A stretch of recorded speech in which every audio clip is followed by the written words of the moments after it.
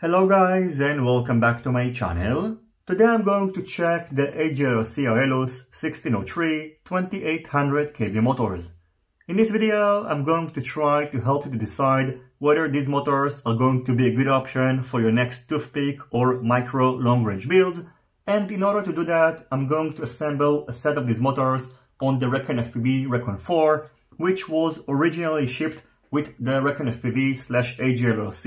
1404 2800 kV motors and perform an endurance test in order to check how long and how far they can get us. On top of that, I'm going to bench test both 1603 and 1404 2800 kV motors using my motor's thrust stand in order to check how they compare. First of all, the weight of the 1603 motor is 9.5 grams, so it's 0.6 grams lighter than the 1404 motor. Its actual stator diameter is 15.7 mm and its height is 3.1 mm in comparison to a stator diameter of 14 mm and the height of 4 mm in the 1404 motor. Based on these values, we can calculate that the 1603 motor has about 2.5% less volume than the 1404 motor.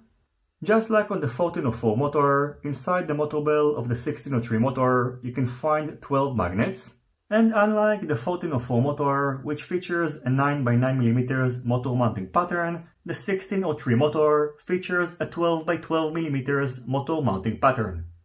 As for my conclusions, based on the results of the thrust test and the endurance tests of the Rekon FPV Rekon 4 using the 1603 motors, I can tell you that the 1603 motors are more efficient than the 1404 motors, which means that using the same setup, they will enable you to achieve longer flight times and cover more distance, but on the other hand, the 1404 motors are more powerful.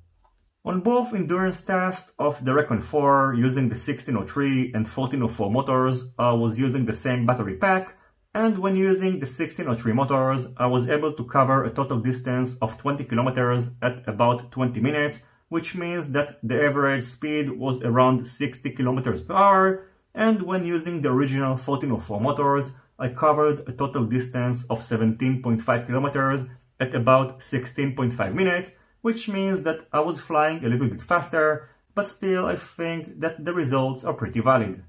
In addition, as you're about to see in the thrust test, which its results are of course included down below, the 1603 motor is more efficient than the 1404 motor, and I tested it using 4 inch propellers which are going to be probably ideal for a long range build and I tested both motors using different voltage settings so the results will be able to give you a lot of information.